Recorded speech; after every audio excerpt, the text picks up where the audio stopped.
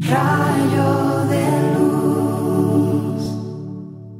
Señor Jesús, tú que eres un hombre con historia, con orígenes que estuvieron llenos de luces y sombras, enséñame a ver mi historia y a aceptarla como parte de un proceso de transformación y salvación.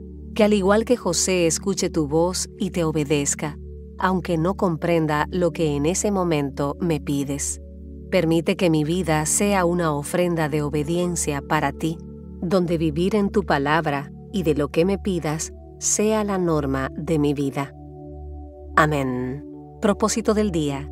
Sentarme en oración y recordar a aquellos miembros de mi familia que ya partieron a la casa del Padre y orar por ellos, pidiendo al Señor que les guarde o los mantenga en un lugar especial en su reino.